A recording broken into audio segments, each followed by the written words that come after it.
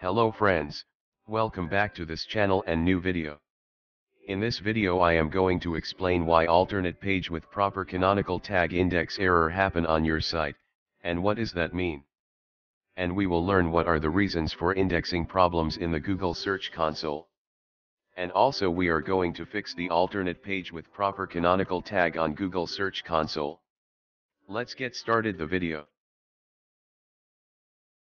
Go to browser, open the Google Search Console, from the menu bar open Index and Pages.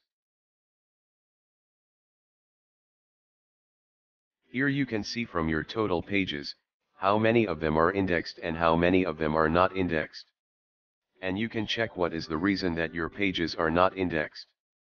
For my pages, the reason is alternate page with proper canonical tag, redirect error, discovered, currently not indexed, and crawled, currently not indexed.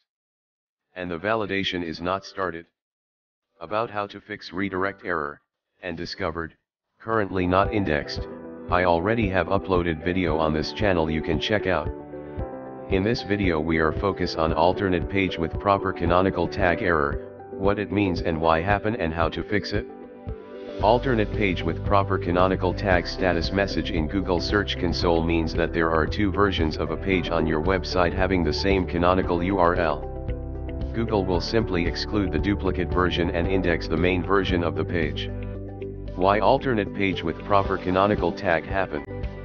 It means alternate page with proper canonical tag indicates that Google has found duplicate pages that are properly canonicalized. SEOs are quick to dismiss pages with this status and move on with their day.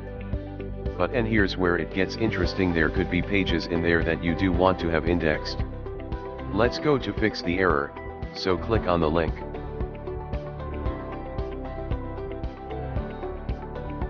As you see I have 7 alternate page with proper canonical tag error in my site.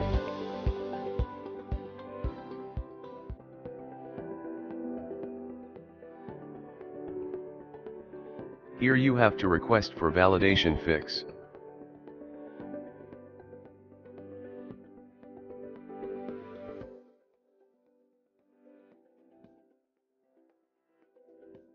For fixing each of the page, click on search icon. You will get this